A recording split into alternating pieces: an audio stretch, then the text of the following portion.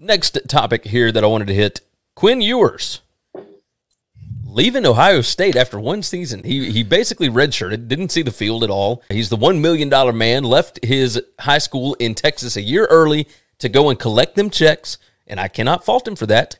But he didn't play this season, and apparently, from what I have been told, because I, I tweeted this out on Friday and was like, "What is going on in this sport right now? This everything is bananas."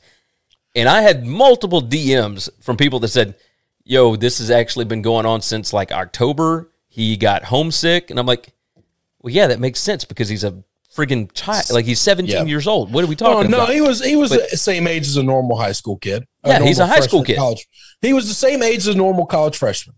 That's it. right, but it, oh, that's right. He's 18. That's right because he was he, held back. Yes, he's the exact same Either age. Way. Which on, which that still happens. By the way, my yes. first freshman year of college, I went away with no friends. Went to a school where I didn't know a soul, and and yeah, I, I struggled my first year a lot. I struggled a whole lot. But it, now apparently he is going back to Texas, and it is between yeah.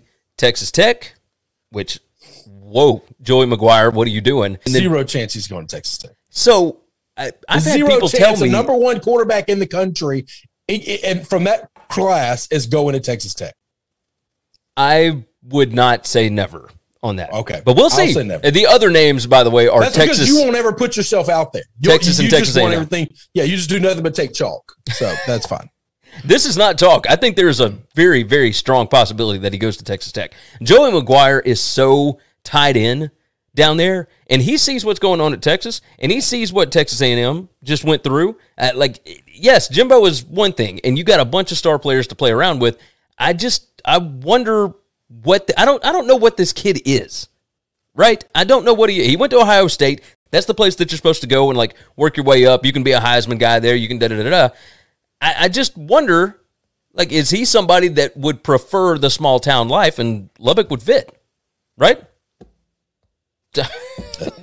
there's there's just that's not I just don't think it's gonna happen. It it may not, but but we'll see.